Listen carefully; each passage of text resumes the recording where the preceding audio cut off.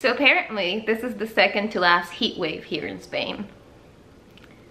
Second to last. That's like saying we haven't been in a heat wave all this time.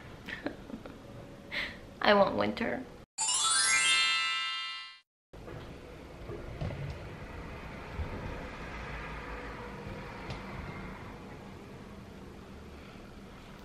Hi guys, I'm Monica and welcome back to my channel, Mooni Reads, where I talk about books and things. And it's hot it's really really hot. Like the fact that i'm wearing clothes is because if not i would it would not be safe for children to watch this video. And i and i don't know if children watch my videos but just in case. We all know that i've been feeling a little bit down lately and by a little bit down i mean a lot down like super down like like down. But that doesn't mean that i haven't continued to read and oh gosh wait for my wrap up. You're gonna love it because there's gonna be the ranty ranty of the rantiness coming for you.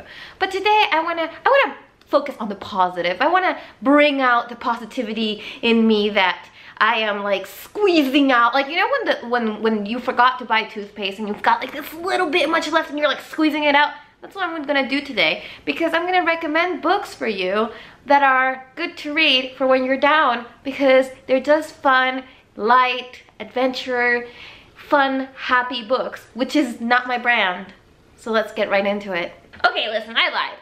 Not, not all of these are fun, happy, you know, yay books. And there's one YA contemporary romance because that's exactly how many I own. And let's start with that one. Let's start with that one. I know this book is a little bit divisive. I know people in Europe tend to dislike it. People in the US tend to like it. I think because people in the US are kind of obsessed with royalty and stuff. We're not going to talk about Prince Andrew. But anyway, let's go into it and that is Red, White, and Royal Blue by Casey McQuiston. Now this novel is just a cute little story about two boys falling in love and my cat is in the litter box. Penny, you are ruining the mojo.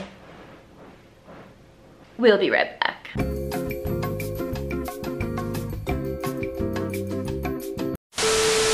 Thank you, Penny. So as I was saying, listen, this is like just the story of a, a clearly make-believe prince with the son of the first female president of the United States who is also half Mexican and they fall in love and it's cute. Look, there's really, I'm gonna say, there's really nothing of substance here except you just kind of smile and it's adorable and its cuteness factor it multiplied by a thousand. And it's just like that cupcake that has way too much icing in it but you eat it anyway because it you know it feels good to eat it. That's it. That's this book. I really like it. I i enjoyed it. It's like i say it's nothing like oh my god guys read this and you will like get so many philosophical, not fuck that, it's just a fun, funny, romantic book to read. And you know, when you're feeling down, that's kind of what you want to read. So yeah, red, white, and royal blue. I just realized I didn't take a thumbnail. I'll do that. Another book where it's just kind of sweet, kind of you know, adorableness, and that is the Emerald Atlas, uh, the Book of Beginnings by John Stephens. I haven't heard a lot of people talk about this middle grade series, but it's about three children who were abandoned by their parents. Not abandoned, their parents died. There's a big difference. But anyway, their parents died and they get sent away to these orphanages where people treat them really badly and then they get adopted but kind of not. They're like, they're sent away to another like home for misfit children because they keep causing trouble. And it turns out that their parents were actually magicians and all of these stories that they were told are actually true and they have to work together to solve the mystery of the Emerald Atlas. Now this is actually a three book series. I've only read book one and two. Book three took forever to come out, but it's just like we're brothers sisters working together magic. It, and it's so whimsical and so sweet. And i just think that this is perfect for those times when you're just not feeling like anything that is going to make you feel like the world is a worse place but that is going to make you feel like the world is a better place this definitely makes you feel like the world is a better place. I love the character dynamics in it. I love the older sister. I love the younger sister. The middle brother is such a little nerd that I just, I love this book. And I think if you're having a hard time and, you don't want to read something that is really gonna like bring you down, this is definitely one to pick up. You know, pro tip from somebody that's fairly new to booktube or youtube in general get a bunch of camera batteries because these bitches just like die on you and if i didn't have another camera battery ready at the go I would actually have to stop filming and then charge it and then come back and then it's a mess. And even though things look different, they wouldn't look as different as if I have to wait one hour and the sun is just somewhere else. It's just a mess. So pro tip, get more camera batteries. Up next, I have classics. What? Classics, Monica? What are you talking about? But seriously, Sherlock Holmes, or well, The Adventures of uh, Sherlock Holmes by Arthur Conan Doyle.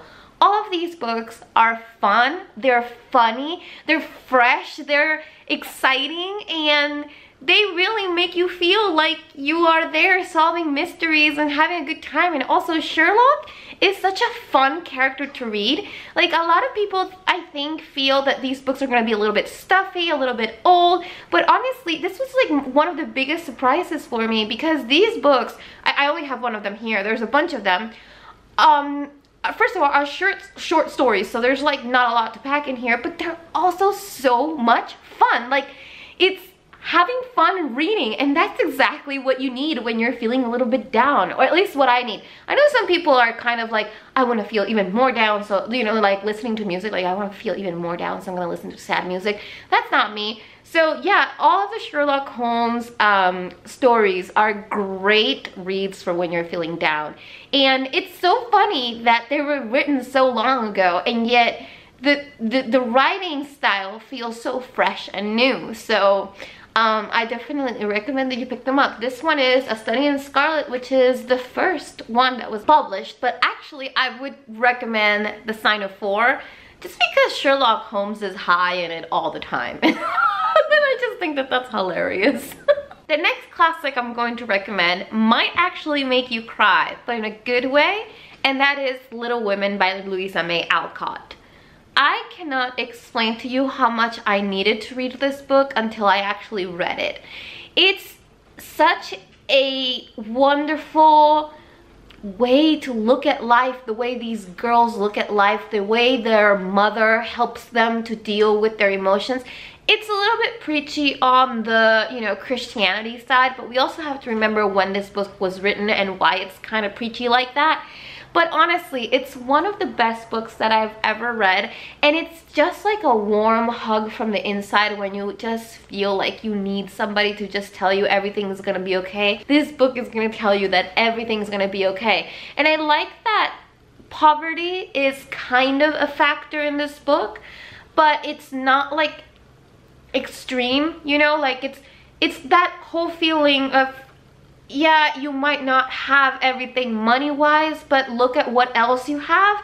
And I think that a lot of times we forget that, especially when we're feeling down, that is something that, you know, comes with it. And in terms of I don't want to spoil anything, but there is a character that dies in this book and how they deal with it, how the character deals with their own death and all of that and how they come together as a family. It's just such a beautiful book, such a beautiful read, and something that I think, that I think, that I think a lot of people should read about and enjoy. And it's also like, I don't know, such a gentle, loving book. I 100% recommend this one for when you're feeling down.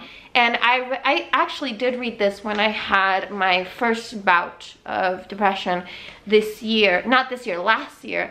And this really, really, uh, this along with this are the books that really, really got me out of that horrible moment. Or like not got me out of it but didn't make it worse and actually helped me feel a lot better. It was like okay everything is gonna be okay in the end. So yeah i definitely recommend you read this. The doll maker of krakow. Guys what a beautiful beautiful book. What a whimsical read. What a enchanting story to get your like emotions going but in a good way. And I love how there is there there I love how there are moments of despair in this book and yet in the end you learn that the moments of despair pass and that all of the bad shit it's it's not like it's not there but the reality is that you can overcome it. Even the worst even the worst things that you can imagine can be overcome. And i like that even though that there is a point at the end of this book where it's like everything is horrible and and you just feel so hurt. And then it lifts you up again. And and it's beautiful. It's of course set in the the backdrop of World War II. We have a doll maker who tries to save children from Nazis and I'm not gonna say what happens but it's really heartwarming touching and in the end oof, I cried a lot reading this but it was that good kind of crying of there are good people out there and there are good things that happen even through all the bad things that happen and that heroes exist in all shapes and sizes. So yeah, and there's um, incredible uh, dis disability representation in this book. So I recommend that you pick this one up. All right, that one was a little intense. So let's go to the funny side. And I'm gonna recommend Good Omens by Terry Pratchett and Neil Gaiman. This book is laugh out loud funny for me. I mean, I love this kind of humor. This is about an angel who has a little bit of mischief to him and a demon who has a little bit of a softness to him and they are best friends and they kind of like Earth. They're like, you know, we like it here. We have a great time here. And then when the end of the world is supposed to come, they're like, do we really want the end of the world to come? I don't know, but they can't stop it. So what they do is they try to manipulate it so that it doesn't turn into the end of the world. And uh, the only problem is they lose the Antichrist in the process. and it's so ridiculous and funny and I just love them together. I love their little shenanigans and and how like some things are so silly and they're right in their faces and it's just really funny. I think the humor in this is more Terry Pratchett than Neil Gaiman, but I think the atmosphere is more Neil Gaiman. I don't know if that makes sense to you, but um, if you like any of these writers, I think that this is just a fun ride. And I mean, um, do they stop the end of the world? I don't know. We're, you will have to see for yourself. But it's just so funny. I like it because it's funny, it's fun, it's enjoyable, it's laugh out loud, and it doesn't take itself too seriously. And I think that when you're down, that's something that is really important. Something that doesn't take itself too seriously. So I 100% recommend Good Omens by Neil Gaiman and Terry Pratchett. Okay, my sci-fi pick might be a little bit controversial, but I, I couldn't not pick it. And that is Borne by Jeff Vandermeer. I know, I know, I know what you're thinking, like, don't you recommend that all the time? Yes, because it's my favorite book. But here's the thing. Borne by Jeff Vandermeer is about hope. And it's about hope that even in the worst case scenario where you have a bear that is two stories high that can fly and is trying to destroy you, you still kick butt because you believe and you hope that things will turn out okay. And even when you see a monster, you have the hope and the belief that you can help them realize their humanity. And I think that that is so important and it's just such a beautiful book like I say. It's like it really pulls on your heartstrings. It it pulls on on the idea of being a mother, of being a badass, of being a woman that doesn't give up ever. That's another thing. It just the, the main character Rachel doesn't give up and some days I just feel like giving the fuck up and just staying in bed like today and not doing anything and then I think like wow like Rachel like had to go through so much and and she didn't give up so I'm gonna not give up either.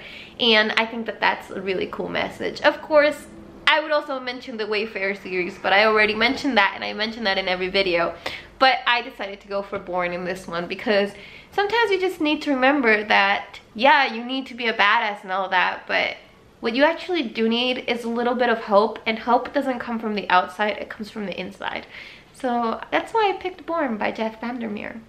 Another sci-fi pick that I have is Skyward by Brandon Sanderson. Why did I pick Skyward by Brandon Sanderson? Basically, it's again, it has that thing that Borne has where it's like never fucking give up. Never give up. And also, this is just like a fun book and it's exciting and it's got like, it doesn't, take again, doesn't take itself too seriously and it's just got this amazing growth, character growth in it, where you see a character that in the beginning has no hope, she is down and under and then she literally rises up above everything because she makes the decision to. And I'm not saying that depression, by the way, is cured by making the decision to cure your depression, but it's just nice to read about characters that are down and under and that through hard work and through like just like not giving up they achieve something. Even if it's not exactly what they wanted they achieve something. And i don't know it's full of whimsy. I, I want to say whimsy. I'm sorry i think doomslug is like the best. And also to see Spensa the main character grow from being this angry, angsty teenager to having a group of friends and, and realizing that she's more than what she herself believes to be and how she learns discipline and how she learns that sometimes you can't go at it alone and that you need help from other people. That is something that is awesome to read and that will hopefully lift your spirits because it definitely lifted mine when I read it. So yeah. Skyward by Brandon Sanderson. The next book I have is a fantasy book and that is The Last Wish by Andrzej Sapkowski. Now, this book is actually um, a bunch of short stories that were published later on as a complete novel. Um, this is about a, a, man who is a witcher who is basically like a mutated human that fights monsters but there's not a lot of monsters left. But all that aside, this book is about a person who thinks he can't feel, but feels really deeply and strongly. And the end of this book killed me. It's so beautiful. It's so heartwarming and touching and and and to see Geralt struggle with his emotions and the fact that he doesn't feel like he belongs and and yet having all of the emotions that he thinks he doesn't have or deserve for some reason is really enchanting and really lovely. And it's also so action-packed that when you're feeling down again I don't want to read something like Solaris or something like Dune where it's like really like philosophical and you gotta get in it and like you gotta understand and there are parts where you're like what's going on? No this is just action packed and fun. That doesn't mean that it's empty you know but definitely more on the action packed side than on the philosophical side and it's also really impactful emotionally.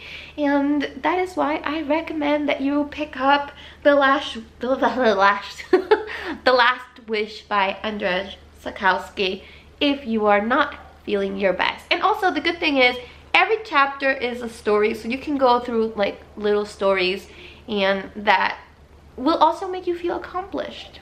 The last book I have to recommend, I had to add it. I can't with like a clear conscience not add this book and that is The Soul of an Octopus by Simon Montgomery. This book, you guys, this book is incredible. This book is about a woman who is a nature writer and she has no idea about octopuses octopuses octopuses and she sets out to study octopuses and to write a book about them and I just learned so much respect and love for the gentleness of aquatic creatures through this book. This book opened my world to aquatic creatures which are basically the most alien creatures that we have here on earth because, well, to us anyway, because they're we can't live under the sea, you know? And they can, and, and we don't understand that, and we don't understand them. And it's hard, you know, it's hard for us. And, and it just, it's so feel good, and it's so sweet to see this woman discover that and share that with you. And it's really short, and it's even shorter than it actually looks because it's only 245 pages. It's just a wonderful, feel-good, beautiful story of discovery, of self-discovery and discovery for others. So yeah, I would also like to mention as a bonus her other book, How to Be a Good Creature. It's such a good book, but if I had to pick one, I would 100% go for this. And that's it guys. Those are the books that I would pick for you guys to read if you like me are having a bit of a down moment at the moment if you're not feeling your best. And well, you know, you know what? I've been like really sweet and nice in this video. I feel like I like I I haven't cursed like once. Have I? Let's just do it for fun. Fuck. There you go. but yeah, I just think that this is like a video that I would like to see, a video that, you know, I would think to myself like, ugh, what can I read right now that I'm not feeling great? I hope that you guys are doing great. I hope that life is treating you well and without any further ado, I bid you adieu with a reminder that I post every Mondays, Wednesdays, and Fridays and that you mean so much to me and thank you for allowing me to have this platform to express myself as badly as I do. but anyway, uh, thank you so much for watching. Don't forget to like, subscribe, do all that fun stuff. And comment down below if you have read any of these books and they brought you any joy. And well, with that said, I will see you in another galaxy far, far away. Bye, guys.